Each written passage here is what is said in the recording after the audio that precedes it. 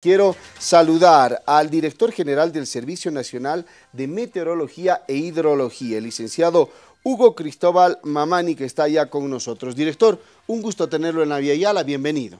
Muchísimas gracias, estamos aquí para dar a conocer las actividades que el Servicio Nacional de Meteorología e Hidrología, SENAMI, tiene previsto para este mes y en específico para este día en especial, que es el 23 de marzo, que se celebra 144 años de nuestro enclaustramiento y a la, vez también se celebra el día del Día del Meteorólogo a través de la Organización Meteorológica Mundial.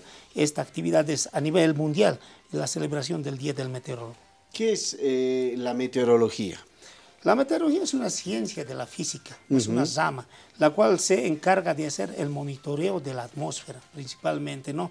De, la atmósfera y sus efectos que tiene en cuanto a los fenómenos que se presentan, granizo, helada, las lluvias, radiación solar. Entonces, la meteorología se ve eh, involucrada con estos parámetros, con estos fenómenos a través de la medición con nuestras estaciones meteorológicas que tenemos en superficie. Ahora, para los efectos eh, meteorológicos en el mundo, eh, la participación del ser humano ha sido fundamental y cada vez esto está variando más a raíz de eso. ¿Cómo es que se conjuncionan esas, esos dos temas, la meteorología y el efecto humano también, director? Lo antrópico es muy fuerte, ¿no? Nuestra actividad, la deforestación, por decir, el uso de combustible fósil, que es muy, muy predominante en, nuestro, en nuestras ciudades urbanas, hemos crecido con el parque automotor, esto influye también en calentamiento, ¿no? Entonces, más, menos vegetación, mayor incidencia de la radiación solar a la superficie, tenemos mayor calentamiento y esto involucra un incremento de temperatura y a la vez también esto tiene el efecto de descensos bruscos de temperatura por sectores porque encontramos una eh, radiación terrestre que va saliendo en el transcurso de la noche y la madrugada, perdemos esto y tenemos mayor enfriamiento también en nuestros lugares donde, hay muy, donde no hay mucha vegetación, ¿no?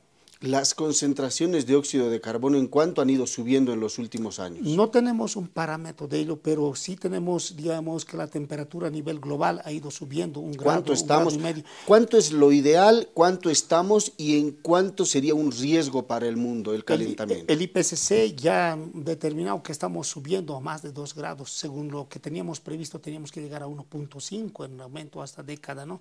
Pero hemos superado aquello. Entonces, este aumento de un grado o medio grado a nivel global es bastante alto, ¿no? Entonces, eso conlleva a lo que es el cambio climático y lo que el presidente del Estado plurinacional ha dicho, ya estamos en una crisis climática, sí.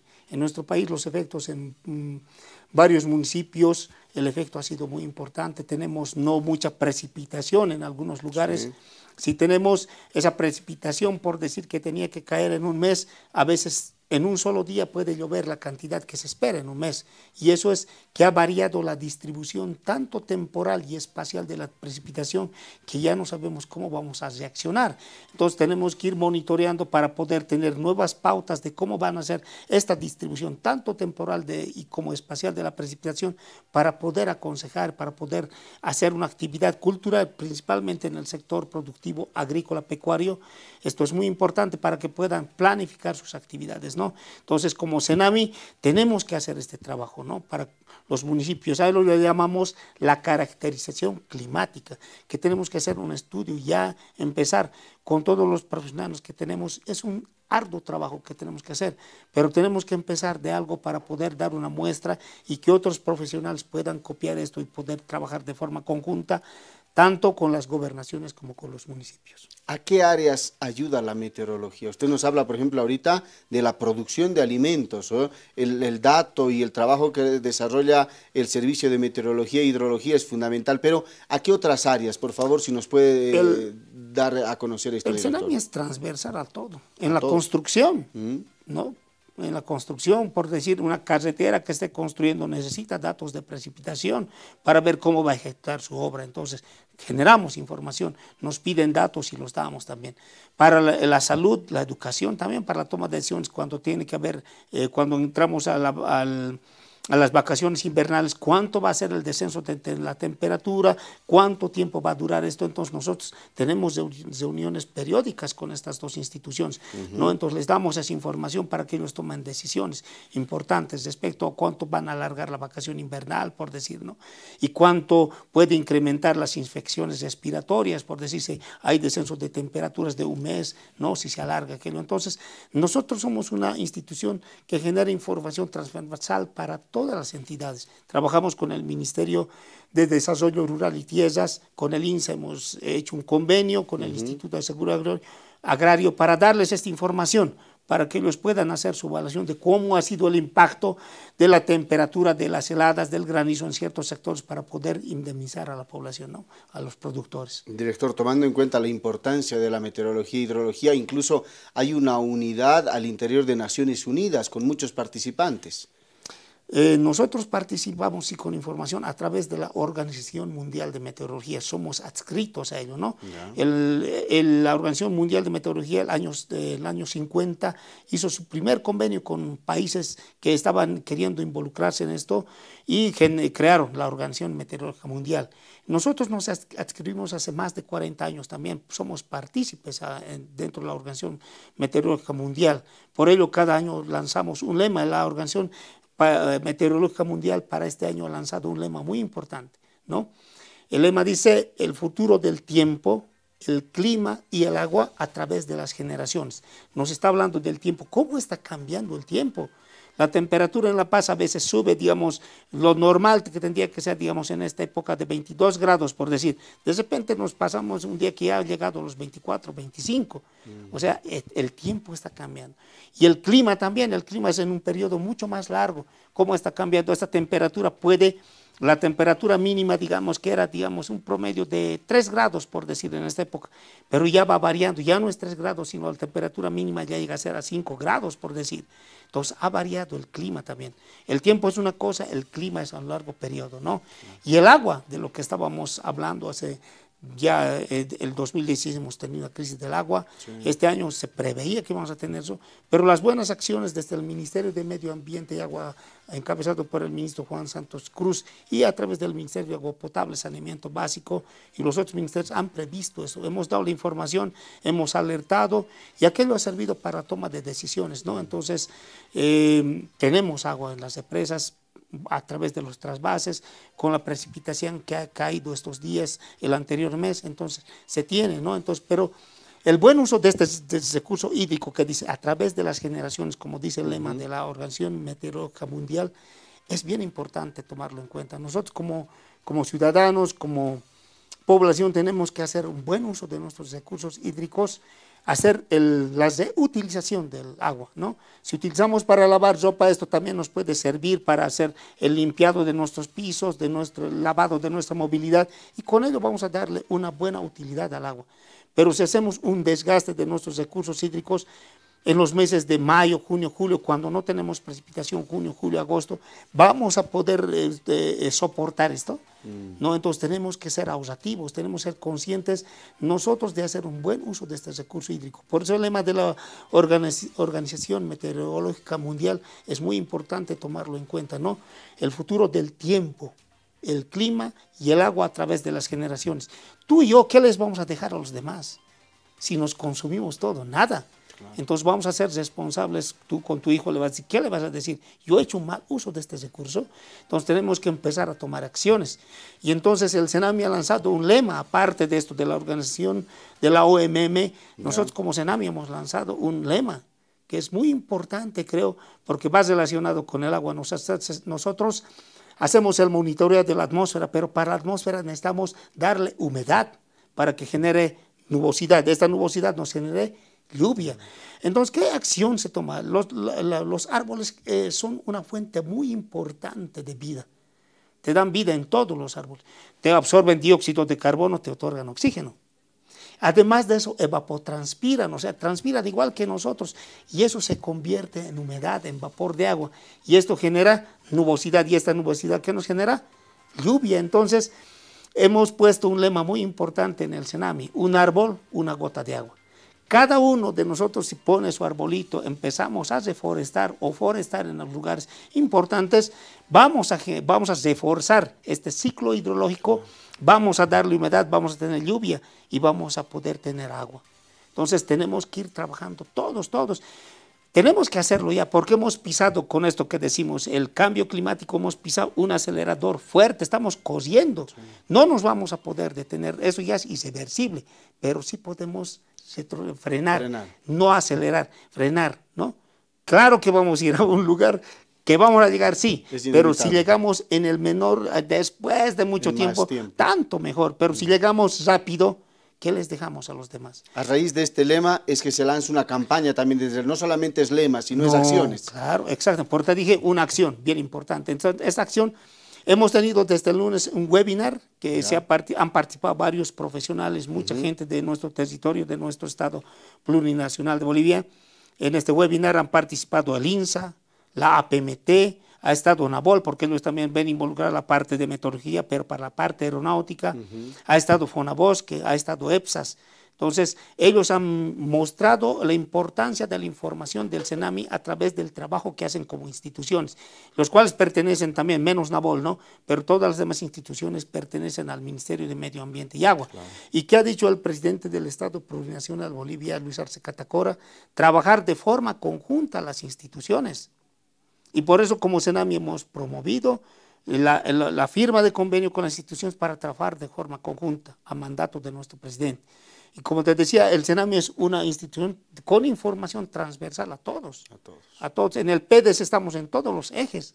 Sí, participo, pero en especial del eje 8, ¿no? Este año, por ejemplo, decían el nivel de las lluvias ha bajado en un 30%. No sé si es el viceministro me daba ese, ese, eh, ese porcentaje. Esto implicaría que también a raíz del lema que dicen, ¿no? Un árbol, una gota de lluvia, también los árboles están cayendo. O sea, la cantidad de árboles que tenemos cada vez es menor y la cantidad de lluvia automáticamente se reduce cada vez más. ¿Esto es eh, directamente proporcional? Exactamente. Brasil ha deforestado hartísimo. Mm. De ahí es de donde viene, de la Amazonía, viene con, con, la, con la, circulación de los vientos alisios, que son casi en sentido contrario, nos, nos, nos, eh, nos transporta humedad de, de la Amazonía. Y con la humedad que tenemos en el oriente, eso sumaba y esa humedad viene a la cordillera, choca, se genera convectividad, tenemos lluvia. ¿De dónde bajan las aguas? Pues baja desde las, desde las, desde las partes altas hacia la parte baja. Mm. Si tenemos lluvia en la parte alta, tiene agua, pues la parte baja, las cuencas bajas. Entonces, pues si no tenemos lluvia, se carga en la cuenca alta, ¿cómo es que van a tener agua? El Beni, por ejemplo, ¿cuántos años no se inunda? Tres años consecutivos que no mm. tiene inundación. El Beni eh, era su característica, cada año esperar inundaciones en el Beni. Pero ya la gente extraña dice, ya no nos estamos inundando, ¿qué está pasando? Entonces ya hay un efecto. Entonces, la deforestación, la apertura de la frontera agrícola, la quema ¿no? de nuestros parques, a veces el fuego no se puede controlar, quemamos nuestros árboles y estamos quemando agua. El, la humedad que tendríamos que tener. Entonces, pues, nuestra acción que tenemos es empezar a forestar para poder ayudarle a la naturaleza de generar este, el ciclo hidro, generar humedad ah, y para tener nubosidad y tener agua, ¿no? Entonces, por eso el lema, un árbol, una gota de agua. Este no es, eh, es un decir que es una gota, pero genera bastante partícula de agua, se suspenden en la atmósfera, esto nos genera más eh, humedad, y tenemos la nubosidad que nos genera. Las temperaturas máximas y mínimas que hemos tenido y esos cambios muy bruscos, ¿cuáles han sido? Así, lo máximo que hemos llegado en zonas características del país, por ejemplo. En la Amazonía hemos llegado a 45, 48 grados, se ha batido récords. ¿Qué año? Este año, el año pasado, estábamos hablando de la estamos en 2023 y este año veremos cómo se bate. 45 grados. Sí, más, mayor que. No tenemos una gran diversidad de nuestras estaciones, pero el presidente ha comprometido fortalecer al CENAMI. Mm. Vamos a fortalecer, si estamos trabajando en los proyectos ya para presentar ¿no? y para que ya se tomen decisiones, porque si no tenemos una red densa de estaciones, no vamos a saber dónde hay muchos efectos. Entonces, tenemos que monitorear todo eso. ¿no? Lo hacemos con otras tecnologías y con datos satelitales, pero tenemos que corroborar, corroborar estos datos con datos en superficie. Entonces el presidente tiene claro aquello, entonces vamos a fortalecer la institución, vamos a tener mayor recurso humano capacitado para poder trabajar en áreas importantes y poder generar una información confiable para el tomador de, decisiones. En este caso, para el sector productivo agrícola pecuario, para los cuales estamos enfocando nuestra visión.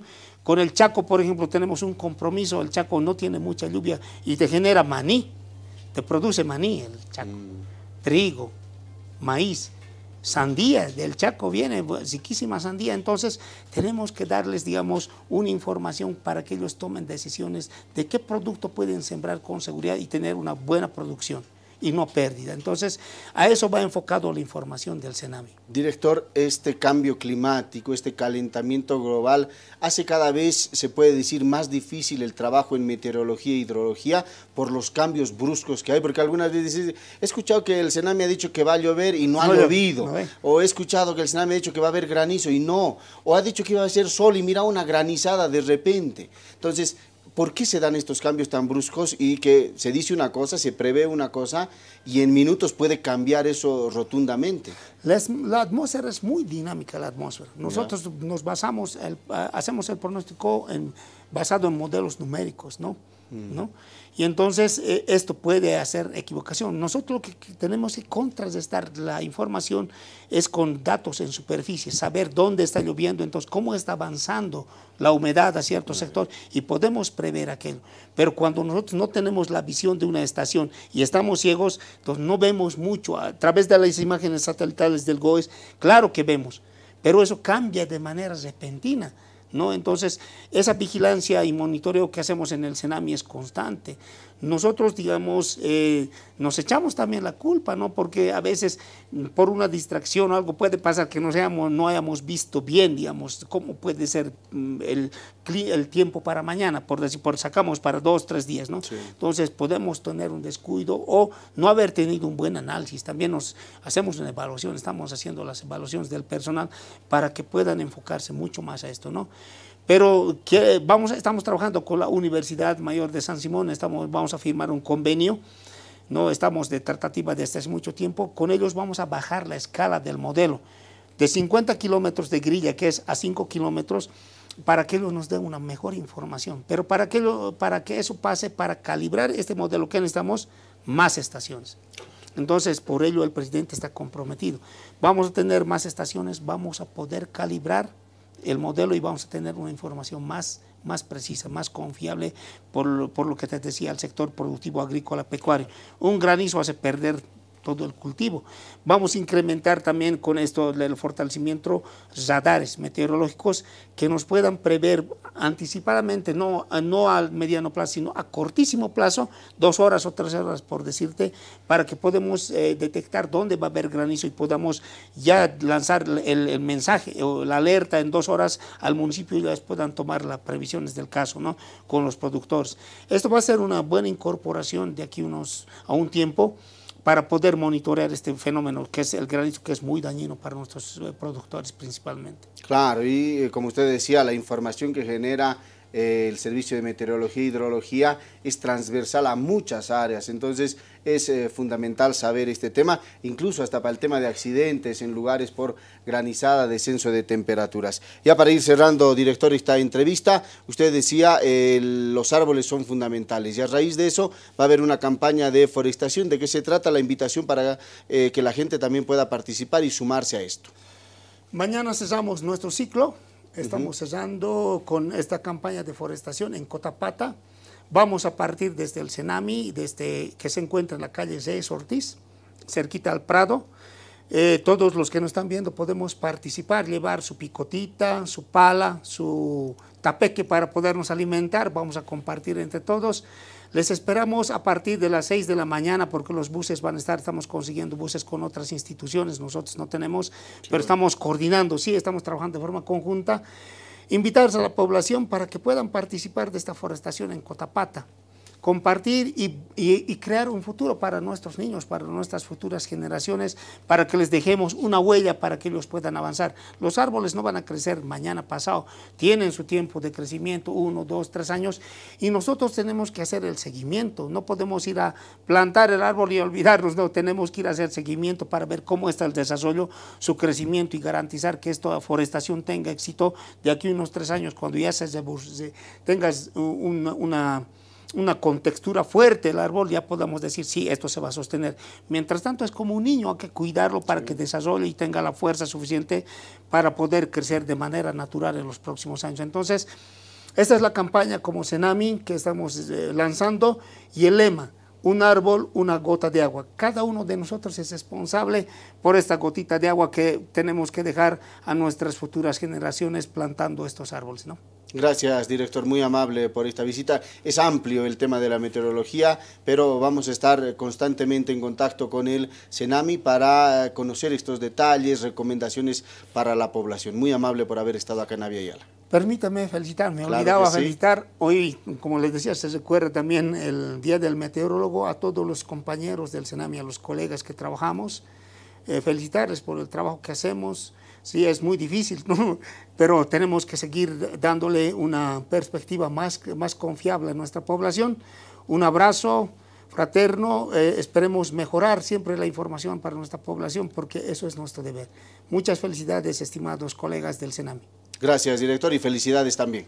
Muchísimas gracias. Muy amable. Ha estado con nosotros el director general del Servicio Nacional de Meteorología, e Hidrología, el licenciado Hugo Cristóbal Mamani, dándonos a conocer la importancia que tienen los datos que va generando el CENAMI.